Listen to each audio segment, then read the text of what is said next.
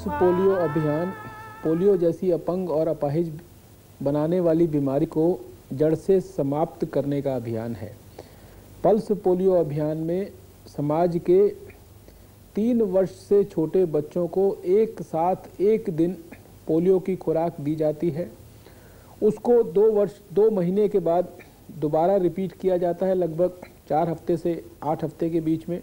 और यह अभियान तीन वर्ष तक लगातार करने पर उस प्रदेश या देश से पोलियो जैसी घातक बीमारी जड़ से समाप्त की जा सकती है।